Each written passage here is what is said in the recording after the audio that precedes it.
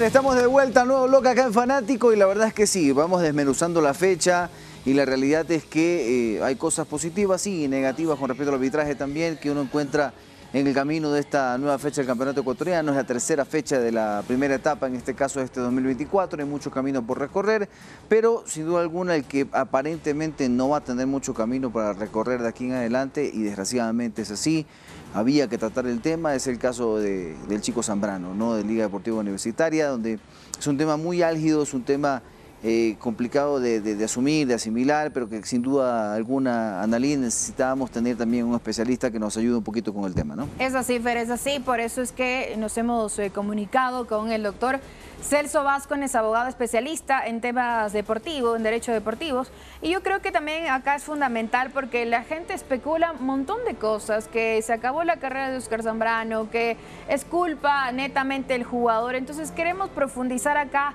¿Qué va a pasar si es que Oscar Zambrano puede aquí apelar para que la sanción pues eh, no llegue o sea mínima en el mejor de los casos? Por eso que estamos ahora con el Doc Celso Vázquez. Doc, eh, buenas noches, bienvenido, gracias por acompañarnos. Y empiezo por esto, ¿no?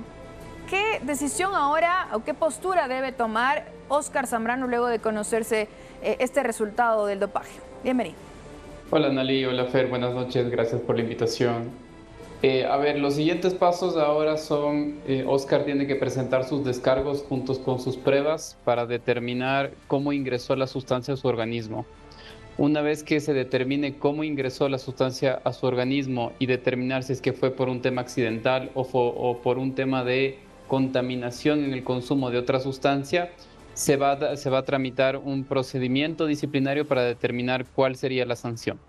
En este momento, la Comisión Antidopaje de Comebol notificó al jugador del resultado analítico adverso, es decir, nosotros hicimos una prueba, dentro de esa prueba existe un resultado analítico adverso, danos tus descargos. El jugador en este momento presenta sus descargos y presenta sus pruebas, diciendo no tengo responsabilidad, no sé cómo llegó la sustancia a mi organismo, por ejemplo, o consumí tal vez este medicamento y este medicamento estaba contaminado o quizá eh, la forma de determinar cómo ingresó. A partir de ese momento, la Comisión Antidopaje de Comebol traslada el caso a la Comisión Disciplinaria de Comebol y Comisión Disciplinaria abre un expediente. Una vez que abre el expediente, el jugador tiene 21 días para presentar pruebas y descargos de nuevo. Y de ahí viene, eh, puede solicitar una audiencia o puede renunciar a su derecho a la audiencia. Si es que solicita una audiencia, se van a escuchar sus alegatos en la audiencia y si es que no tendrá una resolución. Esa resolución podrá ser absolviendo al jugador o eh, sancionando en temas por una falta antidopaje. La falta podría ser desde los dos hasta los cuatro años y podría ser recurrida ante el Tribunal de Arbitraje Deportivo del TAS sin efecto suspensivo. Doctor, ¿qué tal? ¿Cómo vamos? Un fuerte abrazo. Gracias por estar con nosotros. La verdad es que siempre Siempre que usted ha podido, ha estado eh, de manera muy dispuesta a poder conversar con nosotros sobre estos temas que el de es bastante álgido. Si bien usted ya ha un poquito cómo era el proceso, eh, mis preguntas iban enfocadas primero a cuánto puede durar este proceso, porque hay algunas eh, situaciones que deben ocurrir en este proceso como usted las cuenta, pero una quizás más importante, ¿qué, tan, o qué tanto peso tiene el hecho de que él pueda alegar inocencia en este aspecto. Usted sabe que en derecho la ignorancia de la ley no excusa persona alguna y la realidad es que él no puede hasta cierto punto alegar de que no sabe cómo o no sabía que esa sustancia no tenía algún eh, o estaba contaminada con algún medicamento prohibido, en este caso por la FIFA. Doctor, ¿cómo está? Hola Fer, buenas noches, ¿cómo le va? A ver, el, tema es bastante, bastante complejo. En relación con términos, eh, no, establecemos cuánto, no, está reglamentariamente establecido cuánto puede durar, pero usualmente suelen durar de dos a tres meses hasta tener una resolución final. Ahora el jugador tiene una sanción provisional mientras todo esto se va investigando y desarrollando. Mientras se investiga el caso, mientras se desarrolla, mientras se analizan los, los descargos y las pruebas del jugador, él está suspendido provisionalmente llega un momento en el que eh, la comisión disciplinaria ya tiene un criterio definido y ahí establece una sanción y entonces ahí simplemente caberá una, una apelación ante el TAS dentro del plazo de 21 días. Usualmente la práctica nos dice que toma de dos a tres meses conocer si al jugador lo sancionan definitivamente. Entonces más o menos de dos a tres meses va a durar todo este proceso de, de investigación de descargos y de pruebas.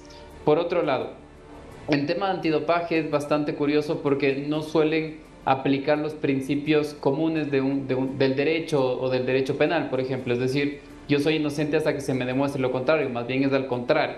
En temas de antidopaje, tú eres responsable hasta que tú no demuestres que tu falta no fue voluntaria o que tu falta fue por otros factores. Eh, la normativa antidopaje siempre establece que la responsabilidad del cuidado sobre lo que un jugador toma, medicamentos eh, o suplementos, es específica del jugador, de ninguna otra persona. Igual, de, igual en temas deportivos del atleta. Es que el jugador aquí quiere trasladar la responsabilidad, en realidad se va a complicar porque la responsabilidad es neta y exclusivamente del jugador. ¿Qué sucede ahora? El jugador tiene que demostrar una falta de eh, conducta, o sea, tiene, que demostrar que no fue su intención el consumir la, la sustancia y tiene que demostrar que él o lo consumió de forma accidental o que esa sustancia estuvo contaminada en algún producto que lo usó o que su, em, su ingesta no ingresó al organismo por una vía oral, por así decirlo. Entonces es bastante complejo en temas de antidopaje, eh, pueden existir un sinnúmero de pruebas, un sinnúmero de argumentos, pero en realidad aparentemente por la sustancia que dio positiva el, jugador es difícil llegar a demostrar que ingresó por un medio externo. Sobre todo teniendo en cuenta una cosa, la sustancia que el jugador da positivo no es, el cuerpo no fabrica esa sustancia. Por tanto, no es que existe un exceso de sustancia en el cuerpo de lo que el cuerpo puede ya producir sino más bien es una sustancia que ingresa al cuerpo no para mejorar el rendimiento, sino este tipo de sustancias son calificadas como, como antidopaje porque tienen un efecto enmascarante. Esto quiere decir que el efecto es que si es que se consume cualquier otro tipo de sustancia prohibida, eh, a través de los diuréticos lo que se quiere hacer es diluir esa sustancia en la orina, lo diluye más rápidamente y por eso tiene un efecto de encubrir, posiblemente encubrir el consumo de otras sustancias. Por eso son calificadas como antidopaje. Pero bueno, ahora el, escenario del jugador en realidad es presentar descargos, eh, presentar pruebas y determinar cuál sería la, si es que habría una sanción o si es que se podría quedar bien librado. Doc, y en base a, a su experiencia, yo sí quisiera conocer si es que todo este tema de antidopaje, qué sustancias no deben ingerir, se familiariza con el grupo. Eh, esto previo a cada temporada se les actualiza, se les dicen, por favor, recuerden aquello, porque hoy conversó la madre de Oscar Zambrado ¿no? con los colegas de Mundo Deportivo y dijo que él tiene alergias y que debido a esta alergia él llamó al hermano, a su novia y le habían dicho, tómate esta pastilla. Él se tomó y fue peor. Luego, obviamente, intervino ya el cuerpo médico de Liga Deportiva Universitaria. Entonces, se me hace muy curioso el, eh, el saber si es que los jugadores profesionales conocen aquello, o sea, conocen y están al tanto, actualizados de qué sustancias tienen, pero prohibido, obviamente de las que ya sabemos por lógica, pero hay sustancias que vienen en algunos medicamentos que definitivamente puede saltar el doping positivo. Es buena pregunta, Nali. A ver, el tema funciona en clubes profesionales. Dentro de los contratos de los jugadores siempre se establecen obligaciones que el jugador no debe consumir ninguna sustancia sin tener el consentimiento del cuerpo médico del club. Okay. En este caso, si es que fueran, si es que nosotros nos sumimos a los argumentos que dice la madre de Oscar de que él se sintió mal por un tema alérgico y una persona le dio este medicamento, él tiene una falta contractual ahí. Es decir, todos los contratos de todos los clubes profesionales establecen una obligación del jugador de que él no puede automedicarse. Y si es que tiene un evento médico, tiene que notificar de forma inmediata al cuerpo médico del club. Eso, por ejemplo, es ya un posible incumplimiento contractual por parte del jugador y, una posible inobservancia a procedimientos médicos que los propios clubes establecen. Por otro lado, la, Agencia Mundial Antidopaje usualmente siempre está en capacitaciones para atletas de alto rendimiento y también para clubes respecto a temas de antidopaje. Incluso la Agencia Mundial Antidopaje tiene aplicaciones móviles que uno puede instalar en el celular para consultar si es que algún medicamento o algún, o algún eh, anabolito de algún medicamento que uno está consumiendo puede ser detectado como antidopaje. Entonces, en realidad, eh, el hecho de consumir algo que un tercero le dio porque en ese momento se sentía mal, no es buen argumento, para serlo sincero. Sería buen argumento si es que el jugador contaría con una, eh, un, un uso autorizado un uso de, consumo eh, terapéutico, por ejemplo, una autorización de consumo terapéutico. Es decir, cuando existe un tema emergente, cuando existe un hecho de que definitivamente tiene que consumir una sustancia prohibida para precautelar la vida del jugador o del atleta o para precautelar un evento más grave, existe una autorización de uso terapéutico. Esto es, el, atleta, el, jugador consume la sustancia, pero inmediatamente el cuerpo médico del club o el cuerpo médico del atleta tienen que solicitar a la Agencia Mundial de Antidopaje o a, su, a la Federación Ecuatoriana de Fútbol en este caso, o incluso a su superior, una autorización de uso terapéutico. Eso quiere decir, oye, mira, debió tomar esto de forma emergente, yo sé que esto es doping, pero necesito una autorización emergente. Eso obviamente el jugador no la tiene. Entonces, desde ese, desde ese principio se, presume que el consumo lo hace el jugador sabiendo que es prohibido. Por eso es que se le traslada la competencia o se le traslada la capacidad al jugador de desvirtuar que el consumo no lo hizo o para mejorar su rendimiento o para enmascarar el consumo de otra sustancia. Realmente, por lo que lo escucho, doctor, el tema es bastante complicado para el jugador porque uno entiende de que al menos las justificaciones que en principio, y quisiera usted, que usted me cuente qué tan creíbles son, porque eh, veo hasta posiciones contrarias, lo que la novia dice una cosa, la madre dice otra, el uno dice que se sentía mal por un camarón, que el otro que la alergia, la verdad es que esto ya suena un poquito a desesperación y es entendible porque puede estar en riesgo incluso la carrera del jugador, que por más que sea muy joven, quedar eh, fuera del fútbol 3, 4 años eh, es bastante y puede ser muy complejo porque el jugador no está habilitado para poder actuar en ninguna categoría profesional y no va a poder ni siquiera entrenar con un club profesional y eso es complicado. Pero dentro de, estos tiempos que marca, si llegase a ser verdad el caso hipotético que se utilizó el diurético, que no digo que sea verdad por si acaso, pero digamos que se utilizó para enmascarar o para diluir, pues en todo caso, el consumo de otra sustancia que haya estado prohibida. Eh, ¿Cuánto tiempo puede durar esto en el organismo, doctor? Porque la verdad es que eh, yo sé que es un tema muy médico, pero seguramente ante la, ante, la práctica usted puede ser que esté informado al respecto, porque tengo entendido que las pruebas se terminan haciendo o 24 horas antes eh, del, partido por un tema de reglamentación, se puede hacer eh, pruebas sorpresivas durante esas últimas horas previas al partido y obviamente después del partido que hay un sorteo lógicamente donde salen otros jugadores pues sorteados para poder eh, someterse a las pruebas doping. Y, esto habla de que el examen que se le hizo a él fue, por, fue, fue dentro de la concentración. Sí, pero a ver, el tema es, dentro de la familia de los diuréticos hay un montón de eh, sustancias o hay un montón de, temas químicos que pueden influir. Es decir, no es que solamente un diurético puede ser catalogado por dopaje, sino que dentro de la familia de los diuréticos hay un montón de, de sustancias que pueden ser catalogadas como dopaje.